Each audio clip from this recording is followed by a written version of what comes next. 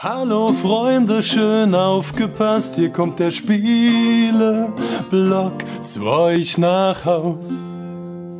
Hallo liebe Zuschauer, wir sind hier bei Lookout und auch da wollte ich euch die Highlights vorstellen, wobei das eine oder andere Spiel habe ich schon vorgestellt. Ich bekomme auch professionelle Unterstützung jetzt hier gleich. Aber bevor wir anfangen mit dem Interview, ähm, wird der eine oder andere sagen, wow, habt ihr einen coolen Tisch? Äh, ja, Lookout hier hat äh, in dem Fall Tische von Hühne, äh, in dem Fall Spieltische. Die kommen bei Kickstarter, ich glaube im November, 16. November, glaube ich, wenn ich es richtig weiß. Auch mit so Matten, wo man austauschen kann, je nach Thema, äh, werden geliefert. Wenn das richtig richtig gesagt, glaube 39 Euro Porto, vier Pakete. Also da könnt ihr auf jeden Fall mal reinschauen, bevor nämlich gleich die Frage kommt, wo man die Tische herbekommt. Da gibt es einen Kickstarter. So, und damit wollen wir jetzt aber auch einsteigen mit den Spielen in dem Fall. Wobei, wir fangen erstmal hier auf der Seite an mit Hexenhaus. Das habe ich euch nämlich schon vorgestellt. Das ist ein richtig schönes Familienspiel. Ja, absolut. Äh, auch spielbar in zwei Varianten. Ich weiß nicht, welche ihr gespielt habt. Die, beide, beide. beide. Genau, also gerade wenn die Kinder noch ein bisschen jünger sind, kann man das mit diesen einfachen Punktekarten spielen. Wenn sie ein bisschen älter sind, mit diesen Siegpunkt-Bonuskarten. Ja, ist im Prinzip ein, äh, ich würde sagen, Dominostein-Puzzlespiel in 3D. Ich glaube, das trifft es ganz gut. Bei dem man im Prinzip sein Hexenhaus aufbauen muss und mit den Lebkuchen, die man verbaut, äh, ja, Geister und Fabelwesen aus dem Wald einfangen muss. Richtig toll, schaut euch auf jeden Fall mal das Video an, wo wir hier gedreht haben. Äh, sehr einstiegsfreundlich, ansonsten könnt ihr natürlich die umfangreichere Variante nehmen, wobei so komplex ist die auch nicht. Es ist ein schönes Familienspiel, viele fragen mich immer nach dem Alter, ab acht Jahre ist das Ganze. Das kriegen sicherlich auch schon Siebenjährige hin, wenn sie geübt sind, geht recht schnell, 30 Minuten. So und jetzt gleich das nächste Spiel, was ich euch erst vor ein paar Tagen, glaube ich, gezeigt habe auf Video. Das Druiden in dem Fall, Isle of Sky, eine neue Erweiterung, die zweite Erweiterung und dieses Mal nicht mehr so komplex wie der Wanderer, sondern das fügt sich eigentlich perfekt in diese Kennerspiellinie ein des Grundspiels. Ja, genau. Also hier, wir wurden einfach oft gefragt, ja, könnt ihr nicht einfach mehr Plättchen machen? Und äh, ja, das haben wir in dem Fall getan. Nur mehr Plättchen alleine nützt ja nichts. Du musst ja irgendwie ein Spiel kriegen. Und genau das passiert jetzt eben mit dieser, in dieser zweiten Verkaufsphase der Erweiterung. Äh, plus, wir haben uns gedacht, so einfach nur die ganz normalen Plättchen wäre auch irgendwie langweilig. Darum gibt es jetzt noch diese Sonderplättchen, äh, bei denen man permanente Vorteile bekommt äh, über diese Schiefertafeln, die da drauf genau. sind. Also ja. Auch richtig gut, wie gesagt könnt ihr auch mal in das Video reinschauen. Und äh, damit habe ich jetzt erstmal die erklärt, wo ich jetzt gesagt habe. Äh, wir kommen jetzt zu Caverna. Das Spiel wollen wir euch noch vorstellen, auch wenn es schon etwas älter ist. Aber manchmal müssen wir das Rad ein bisschen von hinten aufrollen. Es gibt jetzt die Erweiterung äh, zu Caverna, ein sehr beliebtes Spiel. Manche sagen, das ist etwas komplexere Agricola in dem Fall. Das dynamischere würde ich auf jeden Fall sagen, ja. Ähm, und ja, die Erweiterung ist ganz neu jetzt erst in Essen wirklich rausgekommen. Äh, und es geht jetzt im Prinzip darum, dass wir nicht mehr wie bei Kaverne alle mit dem gleichen Setup anfangen, sondern hier haben wir jetzt äh, acht Völker drin und äh, jedes Volk hat äh, gewisse Nachteile, die mitunter auch erheblich sind, äh, aber auch sehr starke Vorteile. Also ähm, ja, das ist gut so ausbalanciert, dass jeder im Prinzip ähm, ja, eine andere Bedingung hat, mit denen er klarkommen muss, äh, die, ja, wie gesagt, auch mitunter sehr streng wirken können. Sieht schon mal grafisch richtig cool aus. Also, wie gesagt, werden wir euch wahrscheinlich noch zum späteren Zeitpunkt vorstellen. Das gleiche trifft auch, auch Neum zu, aber wir bewegen uns hier nicht mehr in der Familienrichtung, wie bei Caverna auch und bei Neum auch nicht mehr. Das richtet sich eher an die Kennerspieler, gegebenenfalls Feedspielerspieler. Äh, ja. Kennerspiel steht ja drauf, also schon das klassische Kennerspiel. Ja, würde ich auf jeden Fall auch so unterstreichen. Wir sind ja auch bei einer Spielzeit von ja, 45 Minuten bis eine Stunde rum. Ähm, es ist im Prinzip äh, ein, ein, ein Drafting-Spiel, ähm, nur wir draften keine Karten, sondern diese, diese Stadtblättchen. Mhm. Und äh, diese Stadtplättchen muss man dann auf seiner eigenen ja, Landschaft verbauen. Die produziert am Anfang nur eine Ressource. Äh, Im ganzen Spiel kommen dann noch insgesamt 16 Ressourcen dazu. Also wir haben in Summe 17 Ressourcen in dem ganzen Spiel, die man produzieren kann. Ähm, plus die Gebäude haben natürlich Wechselwirkungen, so wie bei SimCity. Also Industriegebiet neben Wohngebiet ist jetzt nicht ganz optimal. Ähm, Polizeiwachen äh, beschützen Gebäude rundherum und so weiter. Ja. Also da bin ich sehr gespannt.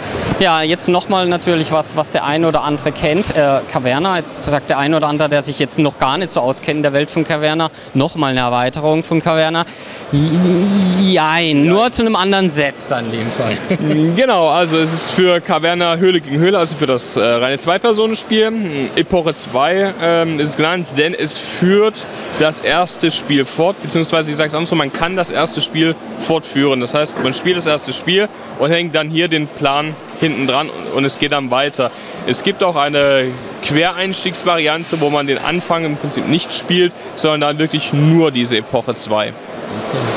So, und das Spiel, was mir jetzt vor kurzem empfohlen wurde, ähm, wo schon die Familienrichtung geht, das ist Piepmatz in dem Fall. Das ist so unscheinbar, ab zehn Jahre, zwei bis vier Spieler. Äh, ja, das ist äh, schon vor ja, etwa einem halben Jahr schon rausgekommen. Länger, genau.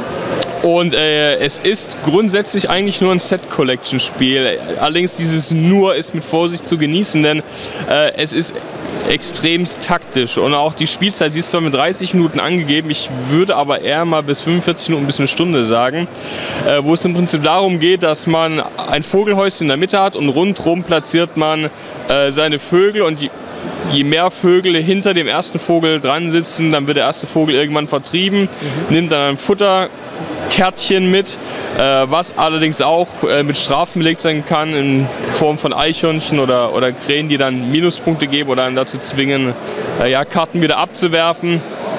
Ähm, ja, wieder, das ist sehr taktisch, dadurch, dass man eben auch Kettenreaktionen auslösen kann oder auch Mitspielern äh, ja, in die Parade fahren kann, wenn die auf bestimmte Vögel aus sind im Spiel. Ja, und dann kommen wir zu Agricola, ein Spiel, wo, jetzt muss ich mal überlegen, Moorbauern ist, glaube ich, auch neu aufgelegt ja, worden. Genau. Da müsst, das stelle ich euch auch noch vor. Ähm, ja, gibt noch einiges, was ich euch zeigen will. Da war ich schon baff, was das Material angeht. Also wer jetzt denkt, Moorbauern, ja gut, wird eine neue Edition. Da hat man sich richtig schön Mühe gegeben mit den kleinen Betten Moorbauern. Also da müsst ihr auf jeden Fall mal reinschauen, ähm, was jetzt Agricola angeht. Aber hier haben wir das ähm, Bubuklus Deck. Ich mal schauen. Bubuklus Set einfacher mit dem Artifacts-Deck. Das genau. könnte man aber auch. Und das ist aber, geht genau in die gleiche Richtung. Also wir haben letztes Jahr dieses, dieses Artifacts-Deck gehabt und dieses heißt das Bu, also ein B, Bubulkus-Deck. Ja. Ähm, 120 neue Karten. Äh, ja, sind grundsätzlich ausgelegt für die, für die Neuauflage, äh, aber auch mit dem alten spielbar. Genau, also das schauen wir sicherlich in Zukunft auch an. Wer Agricola noch nicht kennt, das gibt es wie gesagt in zwei Ausführungen oder mehreren, als Familienspiel, als Kennerspiel, als Zwei-Personen-Spiel. Ja, schon teilweise für die Familien, aber auch für das gehobene Publikum. Wer es dann komplexer mag, den rate ich dann eher zu dem Caverna-Thema, wobei alle Spiele durchaus ihre Berechtigung haben, aber da werfen wir auf jeden Fall in Zukunft noch einen Blick drauf. Und damit sind wir schon beim letzten Spiel, wobei natürlich auch hier das eine Erweiterung ist, Nussfjord, ja. ähm, auch ein Uwe Rosenberg-Spiel, ein, ein, Kennerspiel aus dem vergangenen Jahr, ja, genau. äh, jetzt mit einer Erweiterung. Äh, ja, Du hast exakt alles, alles dazu gesagt. Genau. Vielleicht ein paar Infos, was diese Erweiterung zu bieten hat. Ja, äh, es sind äh, neue Karten drin, also neue Gebäude. Es ist ein neuer Ältester drin äh, und es sind so kleine Metallmünzen drin. Mhm. Äh, ja, sieht recht schick aus und ja, ansonsten sorgt es eigentlich wieder dafür mehr Varianz im im Spiel. So, und von wegen auf Wiedersehen, das sagen wir gleich. Mir ist nämlich gerade noch eingefallen, wir haben noch ein Spiel vergessen, Patchwork Express. Da können wir es ganz schnell machen, weil da habe ich auch schon ein Video gemacht, in dem Fall mit dem Elias, das heißt mit dem Sohnemann. Hat auch durchaus seine Berechtigung, weil wenn man hier sieht, äh, Generationsspiel, in dem Fall Jung und Alt, ist also ein Spiel, wo Opa bzw. Oma mit Enkel oder Enkelin spielen kann. Und genau so, naja, so alt bin ich jetzt noch nicht, aber in dem Fall, der Elias ist sechs Jahre. Und das ist in dem Fall eine einfache Version von dem Klassiker Patchwork. Ja, genau. Also einfach in dem Sinne, es ist zunächst mal schneller, also es gibt weniger Runden. Äh, die Teile sind größer, das ist gerade für die Haptik, glaube ich, für jüngere Kinder und für ältere ganz wichtig. Ähm, wir haben weniger äh, Zahlenwerte auf den, auf den Teilen drauf. Es gibt auch weniger Knöpfe, das heißt, die ganze Rechnerei äh, wird weniger.